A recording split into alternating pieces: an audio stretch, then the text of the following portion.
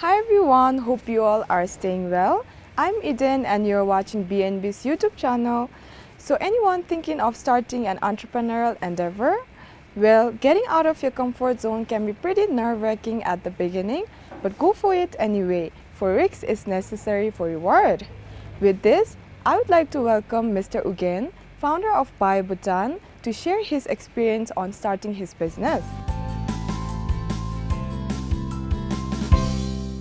Bhutan is a manufacturing business entity that deals with the natural and organic certified products uh, from the raw materials supplied by the local communities uh, from rural Bhutan.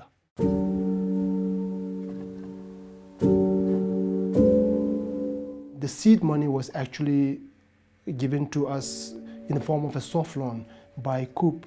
Coop is one of the largest retailer and organic uh, and wholesale companies in Switzerland. So they have actually given us the seed money uh, to kickstart the organic production in Bhutan.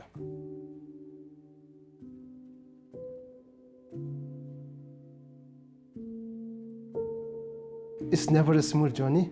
There are always bumps, ups and downs, but we managed to navigate and continue to grow.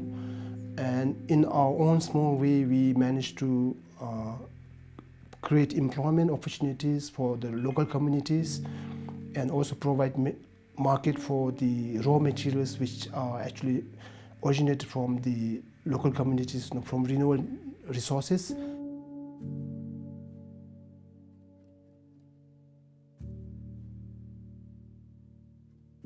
If you really look at the customers, they are actually the tourists who are actually visiting the country, the expatriates, and some locals who are conscious about the health and environmental conscious people. You know, these are the, our customers.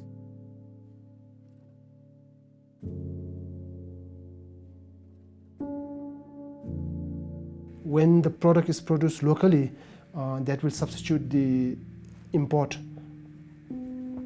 And if the company can manage to export the product outside, then that will not only enhance the revenue earning for the country, and I think that will also enhance the local capacity.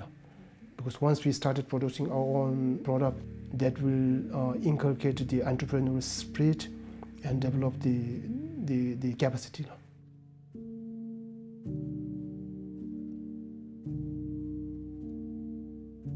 To be a successful entrepreneur, I think the three most important uh, ingredients uh, could be the persistence and resilient and then also the passion. I think if these three ingredients are there, he or she could become a very successful entrepreneur.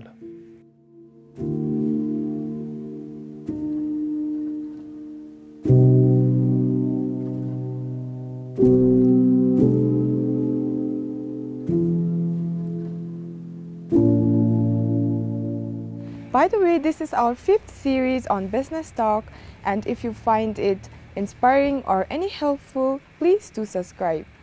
And of course, thank you for your support.